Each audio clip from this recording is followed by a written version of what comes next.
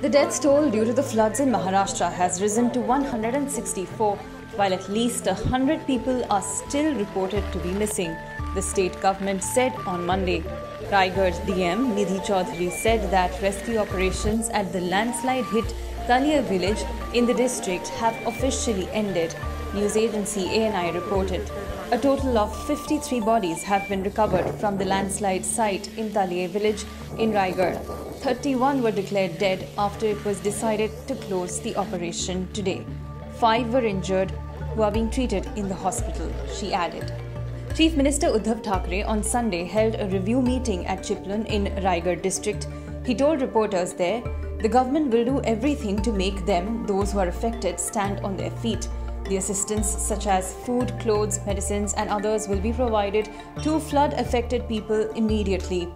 The district administration has been instructed that technical issues should not come in the way of providing assistance.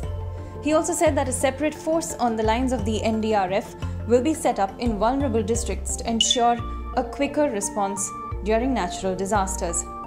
Thackeray was on his way to visit the flood affected areas of Satara district today but was forced to return to Pune airport after his helicopter was unable to make a landing due to low visibility. Maharashtra Deputy Chief Minister, meanwhile, toured various rain hit villages in Sangli district on Monday. The India Meteorological Department on Monday said that rainfall activity is likely to increase over western Himalayan region and adjoining plains of northwest India from today.